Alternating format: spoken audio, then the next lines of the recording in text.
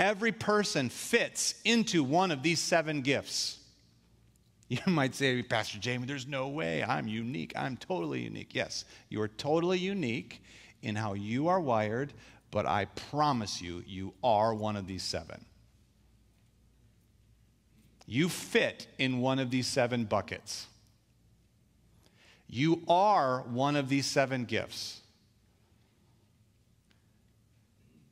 You are the gift of prophecy. You are the gift of helps. You are a teacher. You are an exhorter. You are a giver. You are a leader. Or you are the gift of mercy. This is what motivates all of your life decisions. This thing is how the grace of God works in and through you.